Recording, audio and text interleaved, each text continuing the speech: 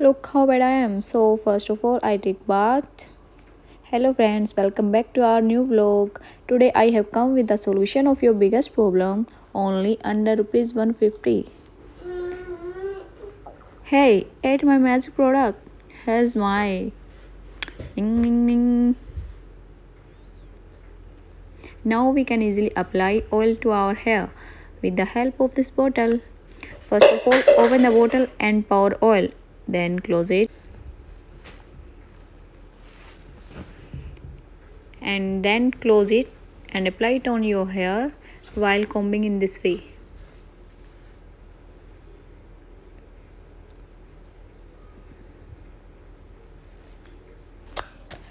If you also want to ask for it then the link in the description